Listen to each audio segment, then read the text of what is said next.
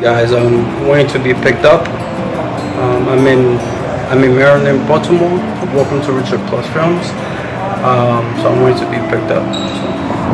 How you doing, guys? Welcome to Richard Plus Films, and um, I'm in Maryland, Baltimore, and I'm with my my cast member Justin.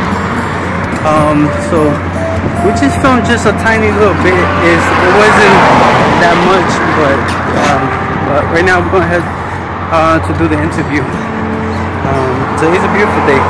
Beautiful and day it's. It's nice. Oh, yeah. And my first time wearing shorts in the vlog in a long time.